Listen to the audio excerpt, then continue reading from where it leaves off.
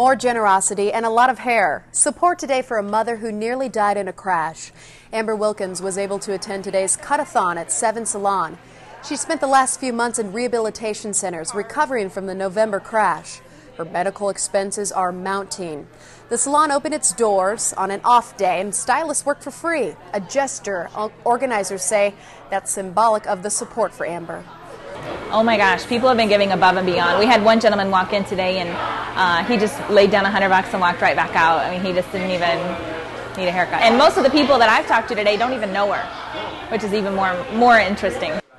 The cutathon raised more than $3,000. Amber's employer will match that number.